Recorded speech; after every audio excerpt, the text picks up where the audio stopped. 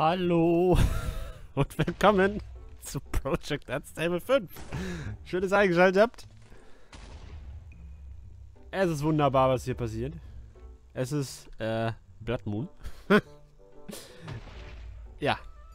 Äh, gut. Ja, schön, dass ihr eingeschaltet habt. Ich starte hier, weil, äh, die Aufnahmen von gestern Abend, wir haben gestern mit allen Mann, die auf dem Server sind, haben wir halt gestartet. Äh, zwölf Leute waren wir. Und die Aufnahmen davon... irgendwie ist das Déjà-vu, weil ich glaube in Staffel 3 war es genauso, dass meine Aufnahmen unbrauchbar waren. Beziehungsweise, ich sag nicht mal unbrauchbar, ich sag eher, ähm, äh, sie hören sich scheiße an. Sagen wir es so. Und ja, das ist halt der Stand, dass die ganzen Aufnahmen von gestern irgendwie drei, vier Stunden aufgenommen. Und halt, weil ich halt so blöd war, äh, der Sound halt äh, scheiße ist. Ich gucke, was ich noch verwerten kann. Aber deswegen wollte ich erstmal hier starten. Hallo sagen. Und ähm, ich glaube, ich warte jetzt erstmal den Blattmut ab, weil er jetzt natürlich hier mir ein bisschen die Pläne durchkreuzt hat. Ja, genau, du. Hau ab. Keiner mag dich. Ja. Äh, und dann, wenn mal wieder Tag ist und die Monster alle weg sind, dann, dann können wir hier mal ein bisschen die Ärmel hochkrempeln und loslegen. Und ja. Bis gleich.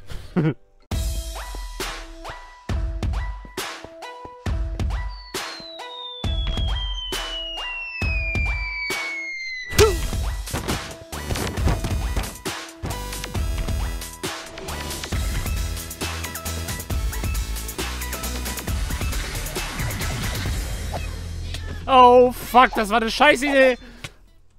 Nein. ich hab ganz vergessen, dass die ja so riesig werden. Ach, Kacke. Oh, oh. Ist noch sauer? Nein, sie ist doch sauer. Das Blöde ist immer, wenn die sterben, dann ruckelt danach immer so tierisch. So. Macht der Schaden? Der macht keinen Schaden, ne? Warte mal, was nehmen wir? So, wir, wir legen gleich los. Nach dieser kurzen Verzögerung nochmal. Nee, warte. So funktioniert das. Zack. Äh, hab ich hier Eisen? Ich habe Eisen. Machen wir uns fix schwer. Dann kloppen wir das am Zaun kaputt. So. Zack.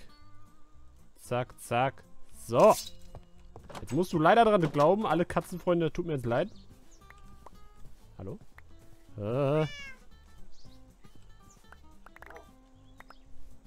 Alles gut?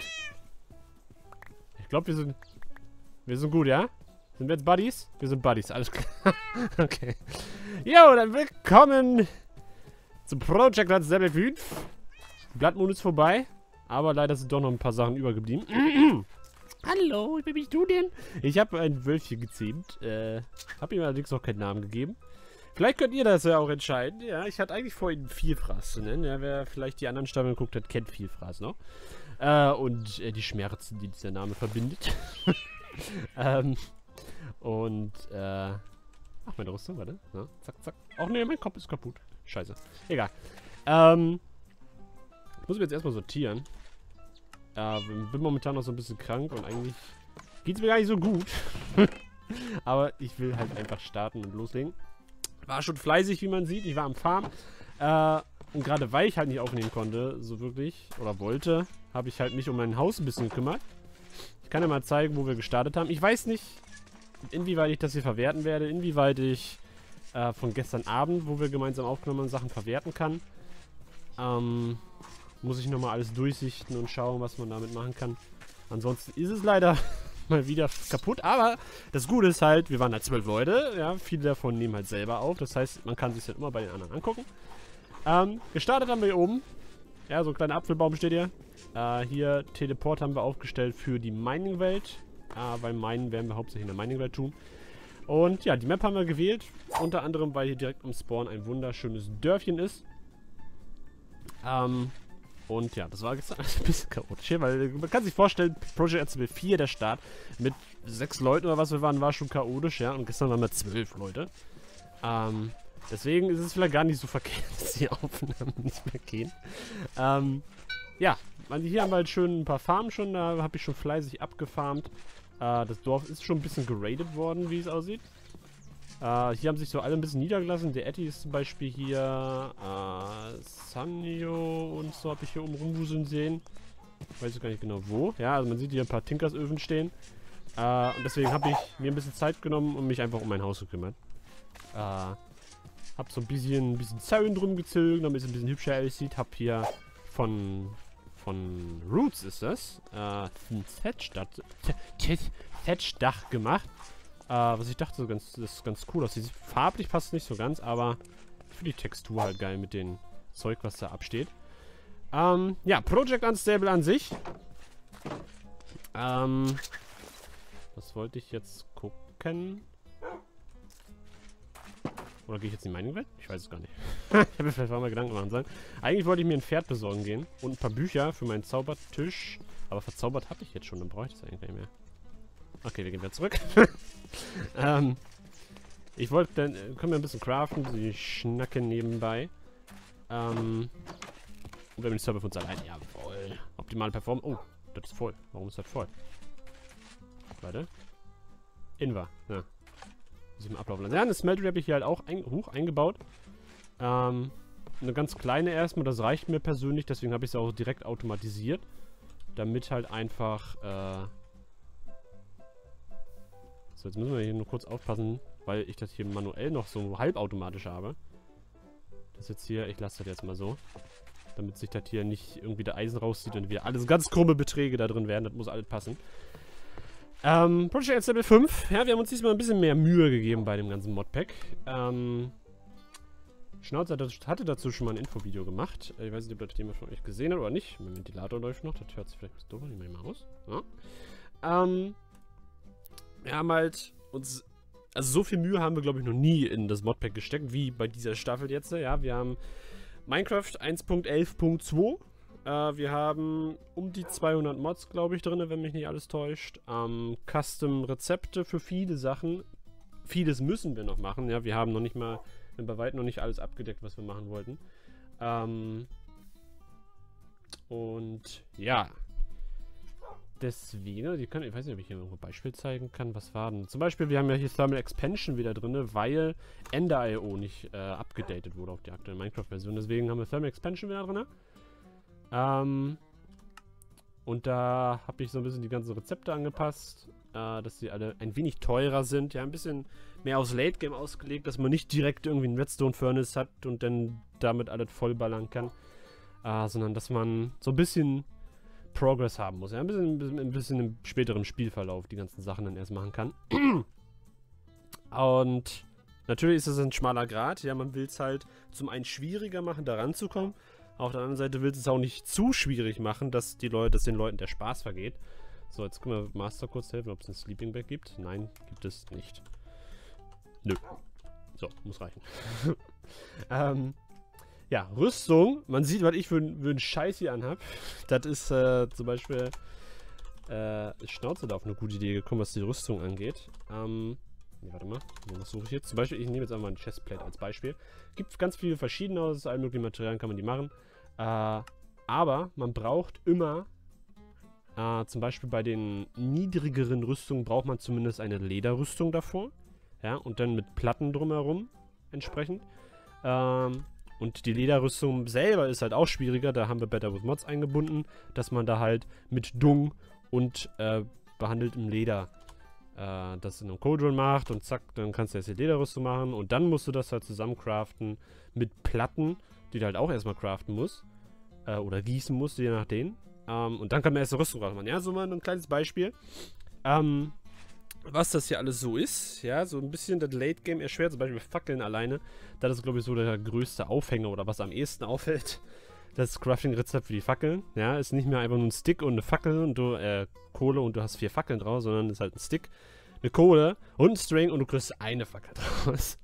äh, wo, wo ich es alleine getestet habe, äh, mal am Anfang, hat mich das mega angekotzt. Aber im Grunde ist es kein Problem, wenn man eine String-Farm hat wie im Dorf haben, ihr halt eine gehabt direkt am Anfang quasi, äh, dann ist das halt im Grunde kein Problem. Es ist halt ein höherer Kohleaufwand, aber äh, macht es halt fürs Late Game auch wieder ein bisschen interessanter, weil man einfach mehr farmen muss. Ja, du hast nicht irgendwann einfach deinen dicken Mining-Turn gemacht und musst dann zwei Wochen nicht mehr farmen gehen, weil du genug Ressourcen hast. Ähm, da haben wir uns so dabei gedacht. Jetzt habe ich hier ganz viel geschwafelt. Ähm, eigentlich könnten wir das doch direkt mal machen, weil ich habe einfach keine Rüstung. Ja?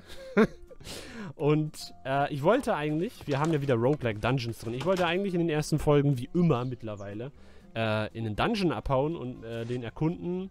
Vielleicht noch mit jemandem zusammen, mal gucken. Das Problem ist nur, man muss da gut ausgestattet sein. Und wie ich es ja gerade am Hand der Rüstung erklärt habe, brauchen wir äh, mit Better, Better, Better with Mods müssen wir das machen. So, jetzt die Frage. Äh, die guten Rüstungen, ja, zum Beispiel Diamant oder was gibt es hier noch als Beispiel? Platin, ja, und so weiter. Die ganz guten Sachen, da braucht man eine Kettenrüstung. Und die macht man halt aus Soulforged Steel. Beziehungsweise nicht aus Eisen, aber die machst du in einem Soulforged Steel Anvil. Das ist halt eine fortgeschrittene Ressource aus dem Better with Mods. Mod. Ähm, ich weiß gar nicht, ob wir die direkt machen können. Ich meine mal, dass es super aufwendig war, oder? Egal. Okay, wir machen erst, wir schauen erst mal, dass ich eine pissige Eisenrüstung kriege. Ähm, dafür brauchen wir Cut Leather. Das machen wir aus Tent Leather. Tent Leather machen wir aus Scored Leather und Dung in einem Cauldron. Und das machen wir aus... Okay, fangen wir ganz vor. Wir brauchen eine Millstone. Das ist Stone mit einem Wooden Gear. Okay. So, jetzt haben wir eine Millstone. Jetzt habe ich zwei Millstones. Ne, jetzt habe ich eine Millstone. Irgendwas spielt mir gerade wieder ein Streich. so, Millstone. Zack.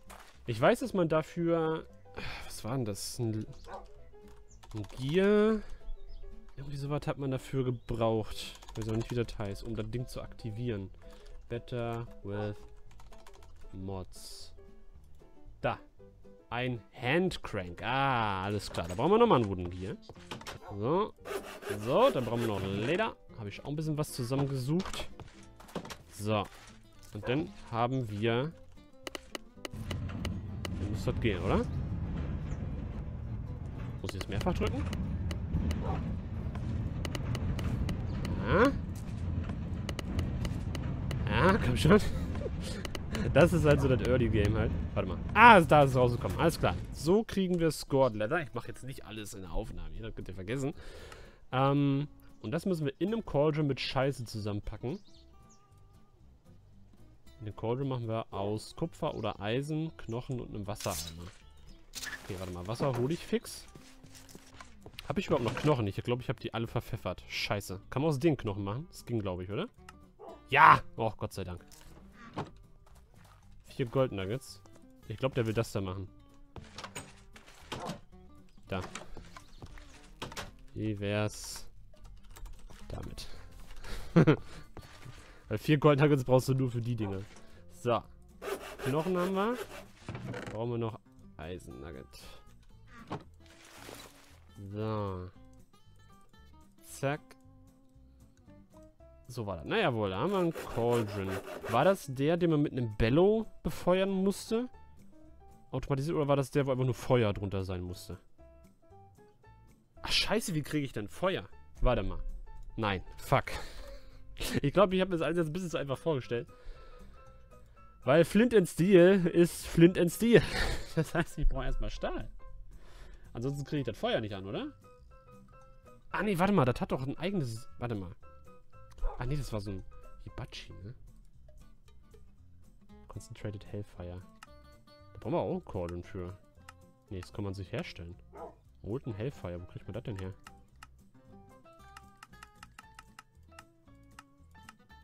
Okay. Warte mal, wie mache ich das denn? Ich meine, ich habe... Das macht man alles in einem Cauldron, aber wie... Okay, ich glaube, es reicht, wenn ich ein Feuer drunter mache, ne? Wo mache ich das? Ich will das nicht... Warte, ich mache das hier vor der Haustür. Habe ich Kobbel dabei? Ach nee, stimmt, ich kriege ja kein Feuer. Verdammte Axt, reicht Lava? Lava habe ich nämlich ganz viel. Warte mal, ich glaube, ich, ich, glaub, ich mache Trick 17. Beziehungsweise ich gucke erstmal... Warum ist mein ganzes Inventar durcheinander? So. Beziehungsweise ich gucke erst... Bin ich noch da? Okay, ich glaube, ich muss reloaden. Warte, hä? Was ist denn hier jetzt los? Jetzt geht's. Okay, irgendwann hat mein Inventar gerade bisschen durcheinander gehauen. So, jetzt müsste es wieder gehen. So. Wenn ich jetzt... Warte mal, ich mache mal hier einfach mal ein Holzblockchen. Hier kommt der Cauldron hin. Reicht es, wenn ich da Lava... Uh, Lava drunter setze. Scheiße muss da rein, ne? Oder wie war das? Ja, ihr könnt mir gerne Tipps in die Kommentare haben, weil ich... Better with Mods habe ich kaum benutzt und deswegen kenne ich da überhaupt nicht aus. Ich hoffe, dass es geht. Show Recipes. Oder ist das der Cauldron, der... Muss ich einen Stoked Cauldron machen? Nee, das ist was anderes. Ja, nee, der Stoked Cauldron war, glaube ich, der, den man befeuern muss, ne? Mit dem Bellow und so ein Shit. Und ich meine, dass der normale Cauldron ausreicht, wenn ich da Feuer drunter mache. So, da ich aber kein Flint and Steel machen kann, müsste es ja reichen, wenn ich hier Holz hinmache. Und dann setze ich hier den Lava-Eimer daneben. Und dann müsste das Holz ja zwangs zwangsläufig anfangen zu brennen, oder? Komm schon. Warte mal. Ich glaube, Firespread ist aus, ne? Scheiße. Warte mal. Kann ich mir das anzeigen lassen? Game Rule. Ich glaube, dass wir Firespread ausgemacht haben. Bin mir aber nicht... Äh, nee, was war das? Do Fire Tick. Ist auf True. Okay. Also Firespread ist an. Komm schon, jetzt lass mich nicht hängen. Das muss doch gehen. Oder muss ich die Lava einfach daneben setzen? So. Komm schon, gib mir Feuer, verdammte Hax. ah, es brennt. Oh, es brennt. Scheiße, das ganze Holz ist weg. So. Okay. Wie machen wir es? So, es müsste sich ja gleich nochmal da ausbreiten, oder? Vielleicht kann ich dann in der Zeit ein Ding durchbrennen. Weil Neta haben wir auch noch nicht. Beziehungsweise müsste ich Obsidian Farm gehen. Und dann könnte ich Netherrack holen. Komm schon, Holz. Komm schon, spreade.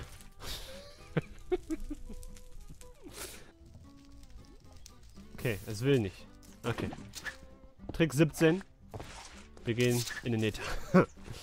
Aber ich glaube, ich glaube, es hat noch kein Nether-Portal, kann das sein? Ähm. Wisst ihr was?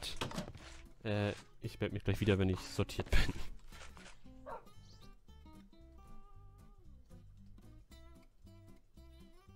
Ja! Ja! Es hat funktioniert!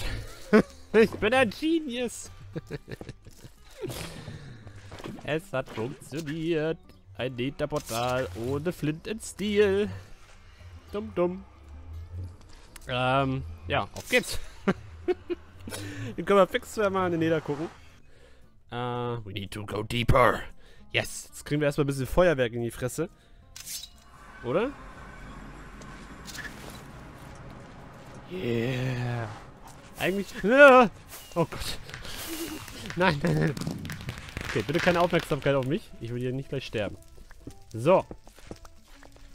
Zack. So, es löst jetzt gerade unser Problem nicht mit dem Deswegen, ich will das mit dem Cauldron direkt mal hier ausprobieren.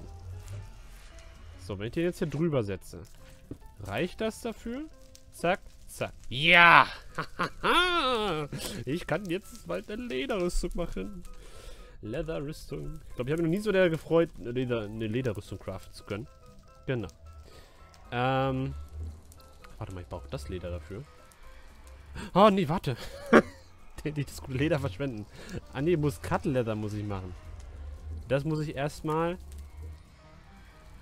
Muss ich erstmal mit einer Scheren machen. Zwei Stück davon. Achso, warte, ich habe eine Schere dabei. Zack. Und das muss ich jetzt da reinhauen. Ja. Sieht gut aus, sieht gut aus. Oh, jetzt bitte. Wenn mir jemand das Portal hier ausschießt, ich komme nie wieder zurück. Das kannst du vergessen. Obwohl, ich habe noch Holz dabei, ne? Müsste ja eigentlich wieder gehen. Ja, man kann nämlich auch das Ganze umgehen. Ja, und ein Portal ohne anzünden. Ohne Leiter. Jetzt habe ich hier voll den guten Scheiß schon. Hier, guck mal. Ich kann... Nee, warte mal, das kann ich nicht abbauen. Aber Kobalt kann ich abbauen, oder? Jetzt bloß nicht hier runterfallen. Was ist das? Nee, Harvest Level Kobalt. Oh, okay, dann geht das noch gar nicht. So, muss man hier aufpassen. Ich glaube, das ist nämlich so, wenn man hier Erze abbaut im Nether, dass die Pigmen alle ausrasten. Egal, ob du das mit Silk Touch machst oder nicht. Die rasten alle aus. Yeah, ich habe einen Cut Leather. Oh mein Gott. Wir brauchen fünf, also 24 für die ganze Rüstung. Ja, äh, das dauert eine Weile.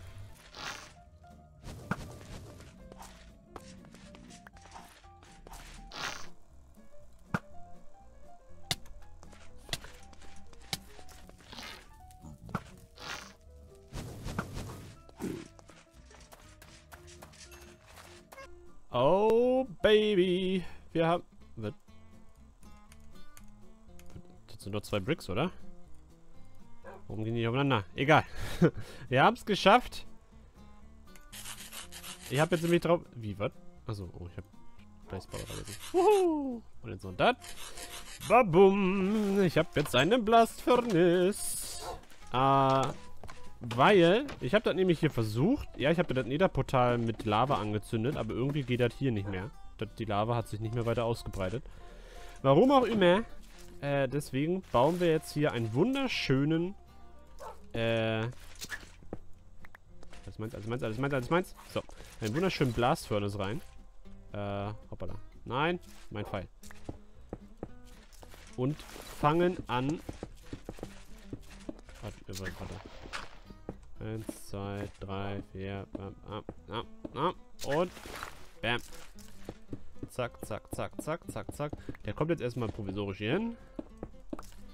So. Ach, da müssen wir einmal mit dem Hammer drauf tappen, ne? Damit das geht. Warte mal, hier, das ist immer mein Müllschacht hier. No! Oh! Oh! Uh, uh, ganz ruhig. Okay, jetzt immer meinem Müllschacht hier, weil ich habe hier unten äh, ein bisschen zum Main, habe ich einfach mal gerade nach unten gegraben. So, was wollte ich jetzt? Ein Hammer. Bam.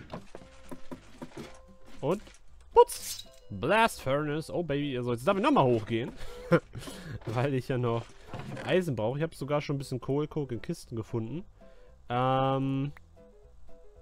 Äh, was war's noch? Eisen. So, bam. Jetzt geht die große Stahlproduktion los, Junge. Direkt in der ersten Folge. Jawohl. Jetzt brauche ich nur ein, ein Stiel und dann kann ich mir ein geiles Feuerzeug machen und dann kann ich endlich eine Lederrüstung machen. Oh mein Gott.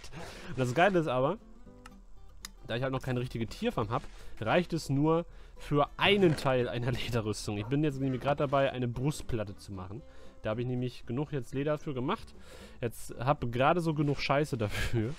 Ähm, und jetzt brauche ich halt nur noch äh, das Stiel, damit ich endlich mal den Cauldron betreiben kann. Wie lange dauert das hier? Oh, ist ja gleich fertig. Alles klar. Äh, dann können wir nochmal fix äh, gucken. Weil Dung ist halt jetzt ein sehr wichtiges, falls ich es noch, noch, gar nicht gesagt habe, ist ein sehr wichtiges Mittel, äh, was so äh, im Early Game angeht. Äh, wird durch alle Tiere gedroppt. Ja, jedes Tier scheißt in einem random äh, alle paar Minuten. Scheißt das mal. Lässt halt Dung fallen. Zum Beispiel mein ganzes Dung habe ich bis jetzt von meinem kleinen Wolfchen bekommen. Habe ich fein gemacht. Also fein gemacht. Warte mal, habe ich was für? Guck mal hier. Mmh, richtig schönes Mystery-Fleisch kriegst du dafür. Hinsetzen. Platz. So. Ähm. So. Und, aber da brauche ich halt noch eine Tierfang. Die muss ich dafür machen. Darauf, darauf wollte ich eigentlich raus. So, müsste ja fertig sein, oder?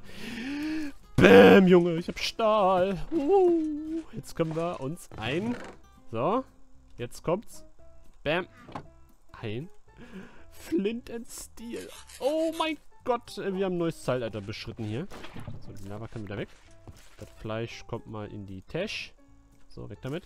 So, wo setzen wir den jetzt hin? Weil wir brauchen möglichst weit weg von unserem Holz- und Strohhaus. ich könnte ihn ja eigentlich hier nebensetzen, wa? Dann kommt da unten Netherrack hin. So, zack, das machen wir an. Oh, endlich habe ich einen Flint in Stil. Jawohl. Äh, mein Kohlen ist da dann können wir da jetzt das reinhauen und dann habe ich gleich eine richtig geile Lederrüstung.